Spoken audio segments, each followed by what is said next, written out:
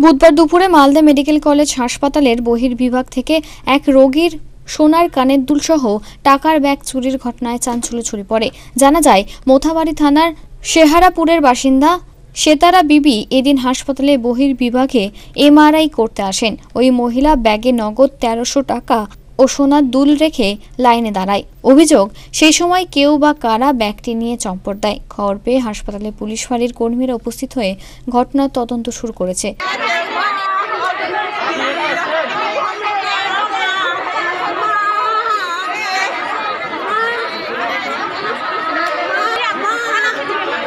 মা টাকা পয়সা সব আছে মা।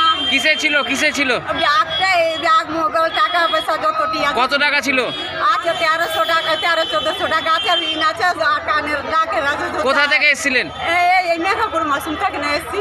কোথায় এসেছিলেন এটা? আমি এটা দিয়ে এসছি মাসুম ই করতে ঢুকছে আমাকে ফটো করবেছে আপ- মালদা থেকে দেবু রিপোর্ট আনন্দ বার্তা।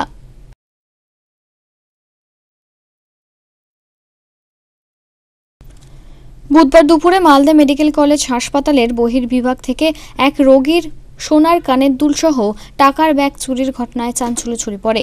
জানা যায়, মোথাবাড়ি থানার শেহারাপুরের বাসিন্দা সেতারা বিবি এদিন হাসপাতালে বহির্বিভাগে এমআরআই করতে আসেন। ওই মহিলা ব্যাগে নগদ তেরোশো টাকা ও সোনার দুল রেখে লাইনে দাঁড়ায়। অভিযোগ, সেই সময় কেউ বা কারা ব্যাগটি নিয়ে চম্পট দেয়। খবর পেয়ে হাসপাতালে পুলিশ ফাঁড়ির কর্মীরা উপস্থিত হয়ে ঘটনার তদন্ত শুরু করেছে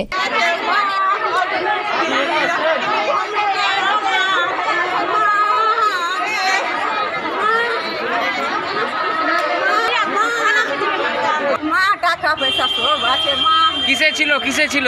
ব্যাগটা এই ব্যাগ মোগল টাকা পয়সা যতটি আছে কত টাকা ছিল? আছে তেরোশো টাকা তেরো চোদ্দশো টাকা আছে ঋণ আছে কানের ডাকের আছে কোথা থেকে এসেছিলেন? এই মেঘাপুর মাসুম থেকে না এসছি। কোথায় এসেছিলেন এটা? আমি এটা দিয়ে মাসুম ই করতে ঢুকছে আমাকে ফটো করবেছে মালদা থেকে দেবু সিংহের রিপোর্ট আনন্দ বার্তা।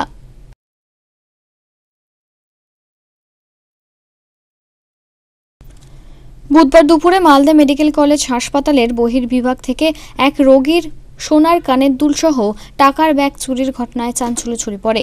জানা যায়, মোথাবাড়ি থানার শেহারাপুরের বাসিন্দা সেতারা বিবি এদিন হাসপাতালে বহির্বিভাগে এমআরআই করতে আসেন। ওই মহিলা ব্যাগে নগদ তেরোশো টাকা ও সোনার দুল রেখে লাইনে দাঁড়ায়। অভিযোগ সেই সময় কেউ বা কারা ব্যাগটি নিয়ে চম্পট দেয়। খবর পেয়ে হাসপাতালে পুলিশ ফাঁড়ির কর্মীরা উপস্থিত হয়ে ঘটনার তদন্ত শুরু করেছে।